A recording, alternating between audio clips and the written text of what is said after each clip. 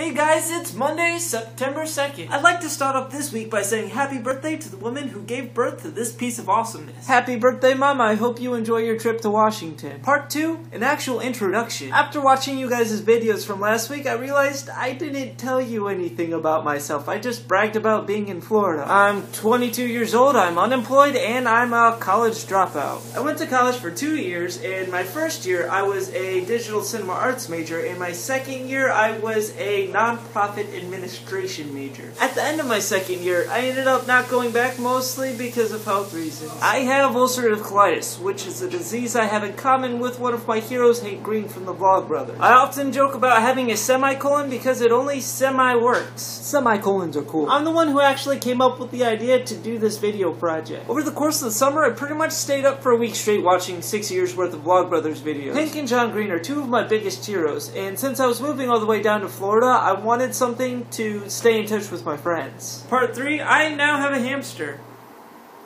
His name is Strike, and he's adorable. Alright, that's enough for me, guys, so Heather, I will see you Tuesday.